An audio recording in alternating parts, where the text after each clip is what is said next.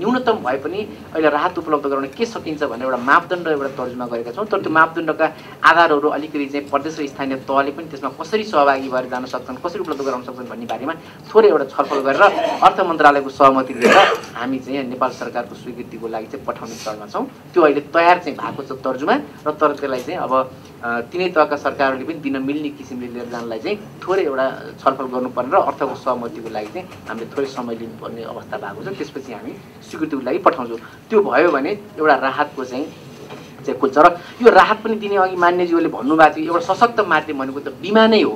र बिमाको कुरो चाहिँ अहिले चाहिँ के छ भने पशुधन बिमामा विशेष गरी नेपाल सरकारले गत चाहिँ करिब पाँच वर्षको हेर्ने हो भने एक अरबको चान्चुन चाहिँ हामीले चाहिँ यो पशुधन र कृषिधन बिमाको लागि चाहिँ खर्च गरिरहेको छ नेपालमा।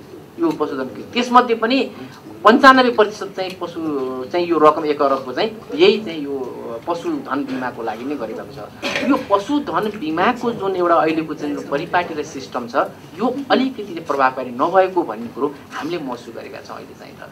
विशेष गरेर यो अहिले चाहिँ व्यवसायमा बढी केन्द्रित भएको र साना र मजेौला खालका चाहिँ किसानहरूले त्यसबाट बढी लाभान्वित हुन नसकेको र त्यसपछि गएर यो पशुधनको बिमा गर्दा मूल्याङ्कन गर्दाखेरि मूल्याङ्कनमा पनि धेरै चाहिँ तलमाथि भएको र पशुको नि मूल्य पनि आफैमा बढी चढी गरेर आएको र अनि पछि गएर पशु मऱ्यो भने पनि दाबी गर्ने बेलामा चाहिँ भनेको बेलामा चाहिँ नपाउने कुरा गुनासो भएको छ यो कुरामा हामीले बेला बेलामा विशेष गरेर यसको नियमन गर्ने निकाय भनेको नेपालमा नेपाल बिमा प्राधिकरण हो। बिमा प्राधिकरण अन्तर्गत मात्र रहेर धेरै कम्पनीहरूले लाइसेन्स लिएर काम गरिरहेछन्।